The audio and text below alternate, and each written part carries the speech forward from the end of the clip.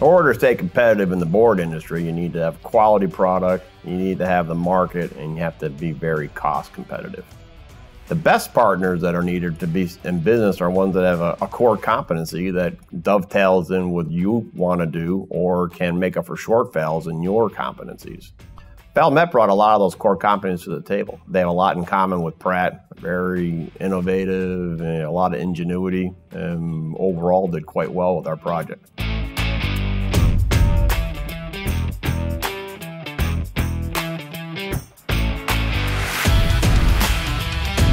As the mill was approaching startup in September 2015, you know, we had to work very closely with Valmet.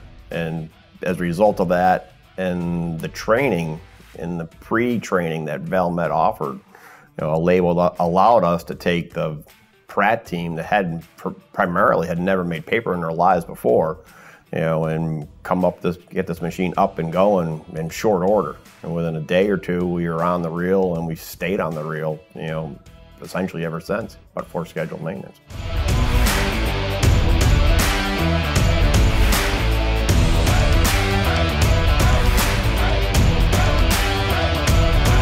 We work our way backwards from the winder, the winder is a world-class piece of equipment. It's automation, it's top shelf, best one I've ever been around with.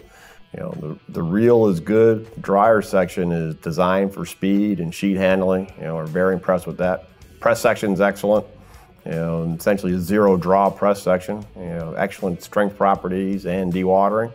The forming section uh, provides a nice uniform sheet. You know, having the automation, you know, coupled with the machine supplier worked out very, very well for us. You know, the DCS, MCS integration with the graphics and the know-how that Valmet brought to the table was, was very, very good.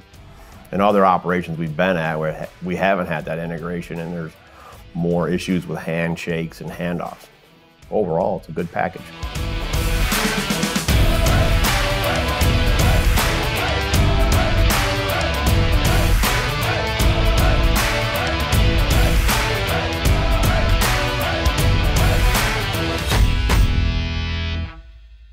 I would buy more stuff from Valmet. Oh, wait, we are.